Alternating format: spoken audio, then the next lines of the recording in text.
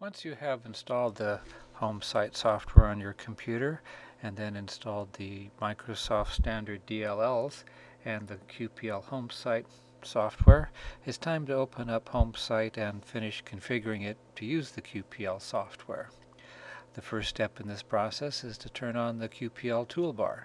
You can put your cursor on the blank spot of the um, toolbar area, right click to bring up a list of the available toolbars, and then click on the QPL6 option to bring up the QPL6 toolbar. We'll talk about what that does in a later tutorial.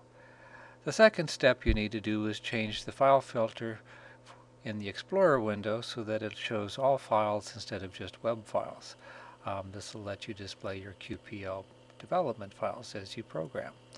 To do this, uh, right-click on any file in the Explorer window, highlight the filter option, and then select all files. The next thing we need to do is to change some of the default option settings. So first go up to the options menu, click on that, select settings, and then the first one we need to update is the extension manager so that it's aware of all the editable QPL files. Click on this option and then go click on the add button to add a new name. So we'll just call this QPL files and give it all the file name extensions that it works with.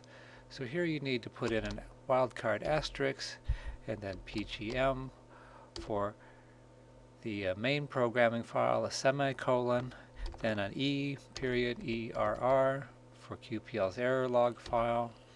And then if you're a SAS user, you'll also want to put in an asterisk.sas semicolon or if you're an SPSS programmer, you'll also want to add the asterisk.sps extension.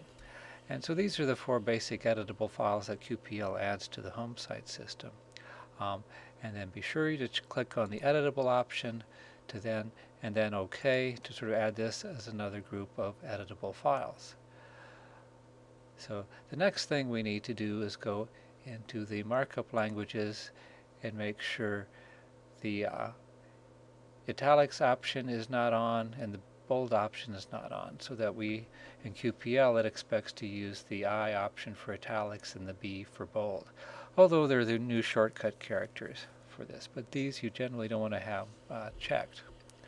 Um, the other option I like to have is to check the startup option and to have it restore files last opened um, this is sort of convenient so you can start a project and restart and it'll reopen all the files that you had open the day before.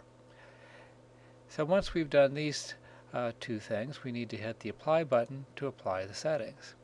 And now we're ready to start using it for a new project.